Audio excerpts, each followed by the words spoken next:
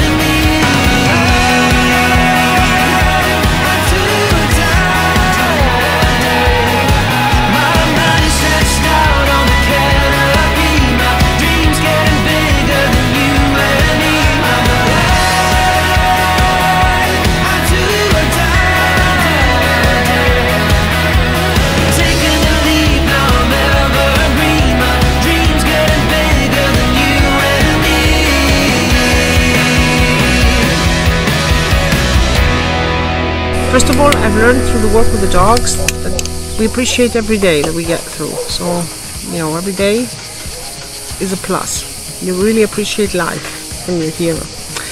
Um, I get up at about six and then I make myself a cup of coffee.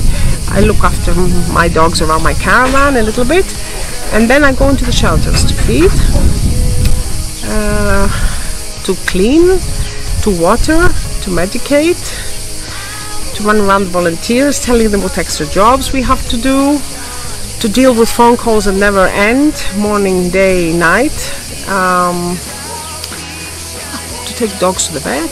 It's a, it's a constant, constant battle. Yeah, I don't have a day off. I don't, I don't have days off. Never. Never.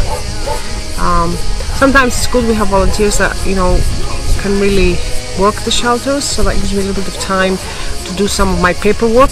But no, I, don't- but I don't really need any time off because when I'm in, when I'm in the shelters with my dogs and I'm working, it, it relaxes me. It's peaceful. Yeah, you find peace there.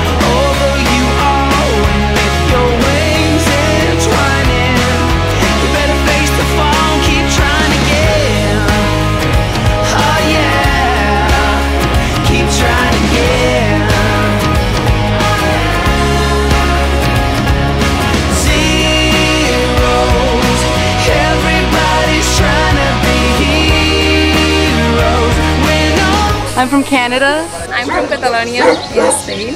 We're both from the United States. I am from Liechtenstein. I'm from Canada. I'm from Slovenia. Believe it or not. I'm from London. I'm from England. From France. France. Uh, Cambridge, England. I'm from Switzerland.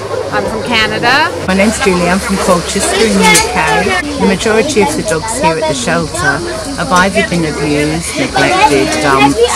Um, most of them are from the local area around Messinia, and my heart's here at Dash. You know, some people get emotional when they come here. Um, it's usually first visit become emotional because they don't know the street. They're not alone. They're never alone. There's always somebody on site. So either the volunteers, even if I go out, some, there's always somebody here. I would say 90% of the dogs here are social. They're social. They don't. They accept people coming in. So I I think that's that's a very big achievement of the volunteers here which of course I thank because we get volunteers from all over the world coming here and everyone contributes and most of them have adopted a dog from here. They've left with a piece of dash with them.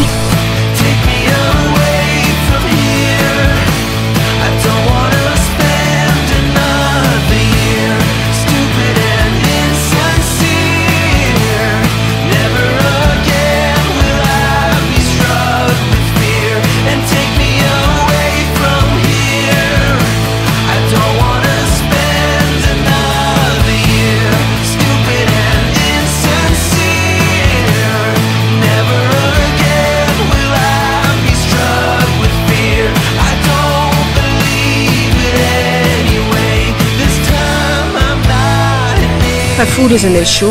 It's always an issue. Food is always we're always on. You know, um, we need food, uh, medication. Yeah. Um, we need photographs. Photographs. We, we need somebody who would come in and photograph the dogs, give them a chance to be adopted. We really do have beautiful dogs and puppies here that are worth a home. So this is a really big, um, you know, issue to get help for that. Um, I want to say to everybody, if if they have somebody they know or themselves to open up their homes and adopt a dog from Dash, please. Uh, especially a senior dog. We have many senior dogs. Um, that will make us all here very happy, and me and the volunteers. I'm sure there are people out there that have room and have love for one of our dogs here. I'm sad because I know that some of them will not get adopted from here. I would like for them to have a home. But I'm positive, yes. Why not? Yeah. We've, we've, we've come a long way and I want to thank everybody for that.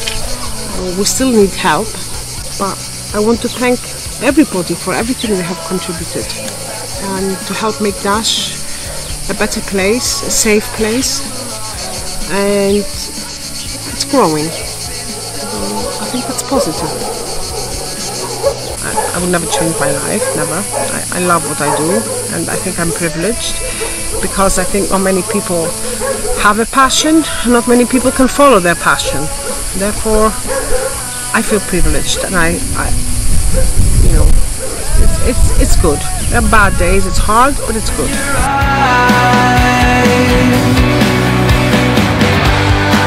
Now the